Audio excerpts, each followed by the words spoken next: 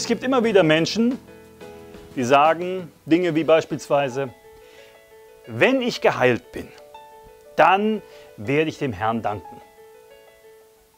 Oder wenn ich einen finanziellen Durchbruch erlebt habe, dann werde ich den Herrn preisen. Oder wenn ich erst meinen Ehepartner gefunden habe, dann werde ich den Herrn loben und so weiter. Weißt du, solche Aussagen lassen erkennen, dass die Person eigentlich die Bedeutung und das Geheimnis von Lobpreis nicht verstanden hat. Denn Lobpreis geht dem Sieg voran. Lobpreis und Danken geht dem Durchbruch voran.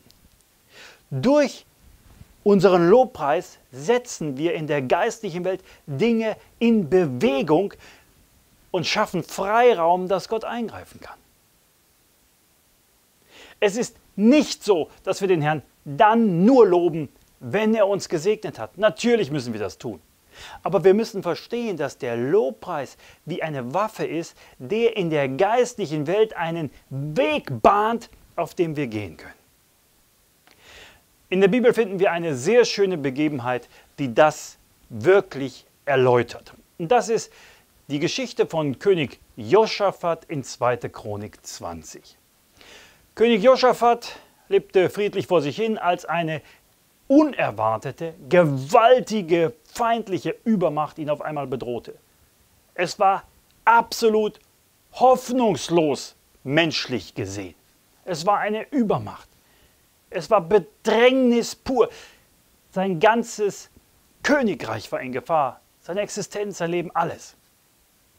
Und er ruft sein Volk zusammen und das Ganze kommt dann zu einem Höhepunkt, in dem er sagt, wir wissen nicht, was wir tun sollen, sondern unsere Augen sehen nach dir. Das sagt er im Gebet zu Gott.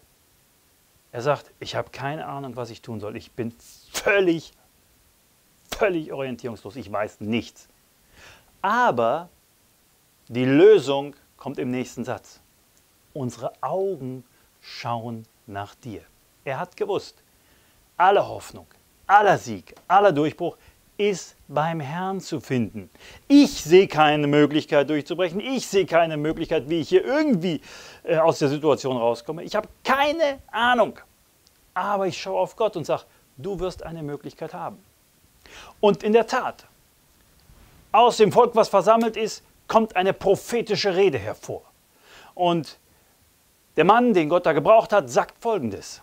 Fürchtet euch nicht und seid nicht niedergeschlagen vor dieser großen Menge. Denn der Kampf ist nicht eure Sache, sondern Gottes. Nicht ihr werdet dabei kämpfen müssen.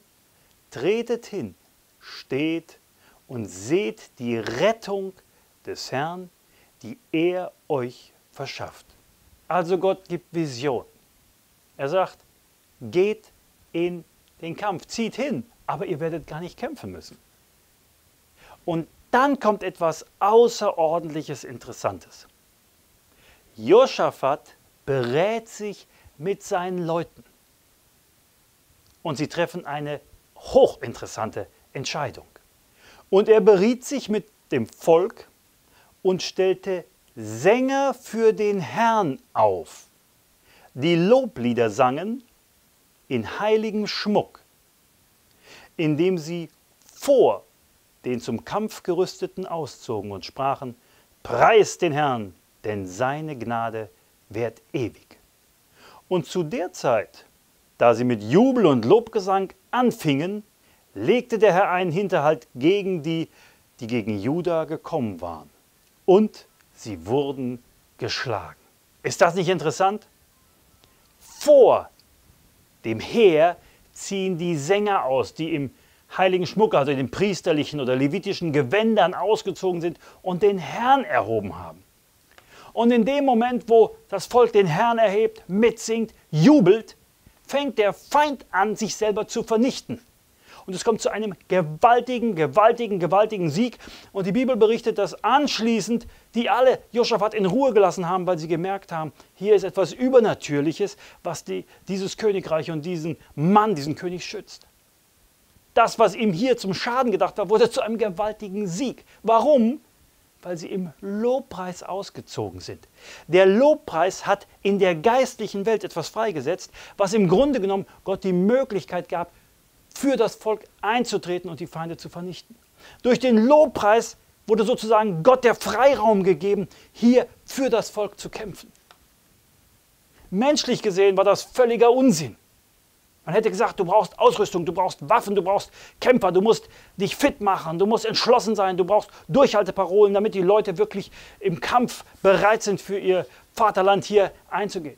Stattdessen erhebt den Herrn, singt Loblieder, preist ihn. Und genau das war richtig, genau das hat den Durchbruch geschaffen. Und so ist es auch in deinem Leben.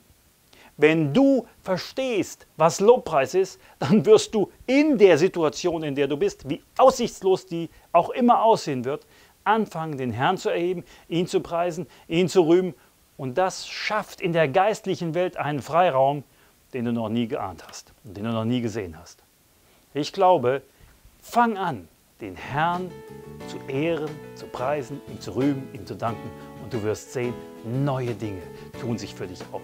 Freiräume tun sich für dich auf. Feinde, die dich schon lange quälen, werden verschwinden. Ich glaube, wenn du das tust, wirst du feststellen, Gott hat viel, viel mehr für dich.